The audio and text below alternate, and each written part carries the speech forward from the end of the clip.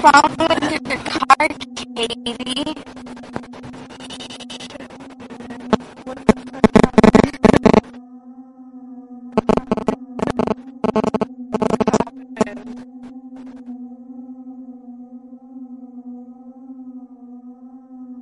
Do you have your phone? Can we use it? Where's the damn cell phone? Brady.